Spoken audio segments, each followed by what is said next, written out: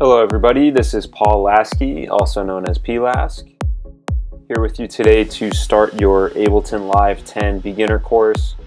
This course is going to be divided into two different levels and it's kind of serving as a foundation to the more intermediate and advanced courses that you'll find on Sonic Academy's website. So here we're going to be going over the basics of Live 10. Uh, we'll have sort of an overview of the whole interface. We'll take a look at the session view and the arrangement view. And we'll be using this track. We'll be kind of coming up with the parts in session view. Then we'll talk about moving the parts over into arrangement view, finally arranging the song, doing some things like adding transitions and finalizing it, mixing it down. And then the last step of level one here will be exporting the final song. So what I'm going to do for the next few minutes is let this play through so you can get an idea of what we're working with. I'm using this project file that you can download and follow along with and I will catch up with you at the end of the song in the next tutorial video.